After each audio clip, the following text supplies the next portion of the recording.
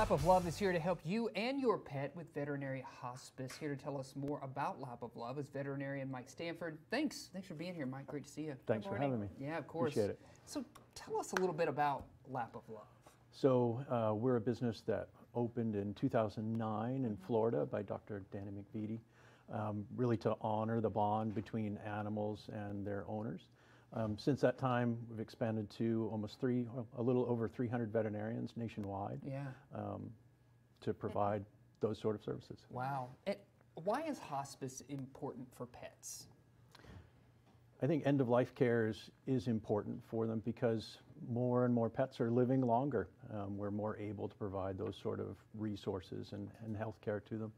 Um, and so helping give that guidance to people, kind of navigating that end of life care is really important. Yeah, sure.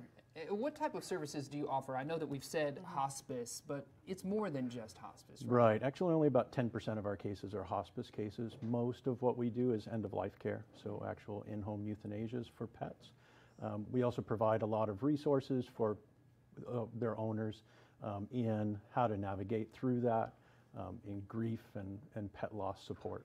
Sure. So it's kind of like a all-encompassing sort of thing from from the beginning all the way through, even past uh, the passing of the pet. Yeah, it really is. When people call in, we have some very highly trained people that work on the phone to help them work through that process to answer questions.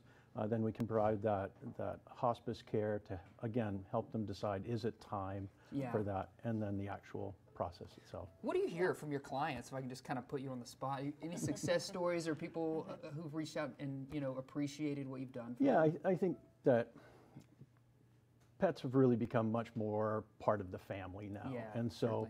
giving them that passing in their own home, surrounded by the people they love, I think is really powerful and important for those people. You Yeah. know, something that I was told, with, you know, owning a pet, you know, you only get them for so much of your life, but they get their whole life with you. Right, Which that's- is why it's so important for these animals to feel cared for Yeah, at so the true. end of their year, or So end true. of their life. Yeah. Yeah. What advice do you have for pet parents whose pets are sort of in the final stages of life?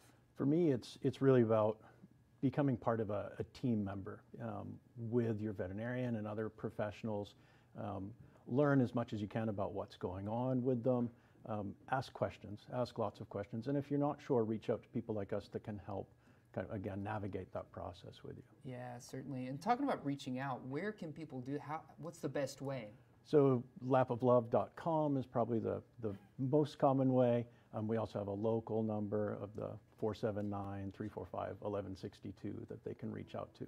Yeah, absolutely. And you're located here in Fayetteville. Do you serve the region? Do you serve outside of Fayetteville as well? Yeah, yeah. So we're, we're located here in Fayetteville, but we really cover all of Northwest Arkansas. Yeah. Um, so as far as Eureka Springs, all the way up to Bella Vista. Okay. You know, I, I think another big point is the financial side of things. Yeah. Do you have any help financially, or, or when people are saying, what, what is this going to look like for me? Um, the, the biggest resource for people would be something like Care Credit. Got it, um, yeah. Which can be very helpful. Yeah, absolutely. Absolutely yeah. helping.